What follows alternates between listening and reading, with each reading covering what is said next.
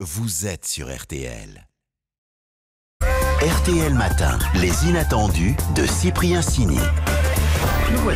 Des histoires belges, on en connaît tous, mais alors, des comme celle-là, c'est pas sûr. Écoutez bien, je vous préviens, tout ce que je vais vous raconter est vrai. Samedi, il est 15h, dans la banlieue de Charleroi, quand six braqueurs armés entrent dans la boutique de Didier. Et là, le commerçant garde son sang-froid, et comme il le raconte à nos confrères belges de RTL, Je leur dis clairement, c'est pas à 15h qu'on braque, c'est comme quand vous allez chez un livreur euh, à 5h au matin, vous allez prendre la monnaie, c'est à 18h30 qu'il faut me braquer.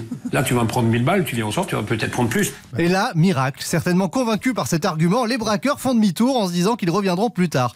Didier, de son côté, prévient la police. La police me dit, euh, monsieur, ils vont jamais revenir, c'est pas possible. Et je leur réponds, euh, je Bah, pense que oui. Je suis bon vendeur, mais je pense que je suis pas sur des lumières. Et effectivement, à 17h30, les braqueurs reviennent, sauf que, et c'est pas une blague, les policiers sont pas encore en place. Du coup, Didier tente le tout pour le tout, en faisant la leçon aux braqueurs. Je sors du bureau et je l'engueule en lui disant, euh, faut t'acheter une montre, 18h30, c'est pas 17h30, dégage. Et ils repartent. Et là, vous vous dites que c'est pas possible, et pourtant si. Et le pire, c'est que la bande de pieds nickelés a fini par revenir comme prévu à 18h30 pour se faire cueillir par la police. Une technique tout de même risquée, car c'est pas tous les jours qu'on tombe sur des braqueurs de ce niveau. Ah, je vous remercie. C'était Cyprien Sini.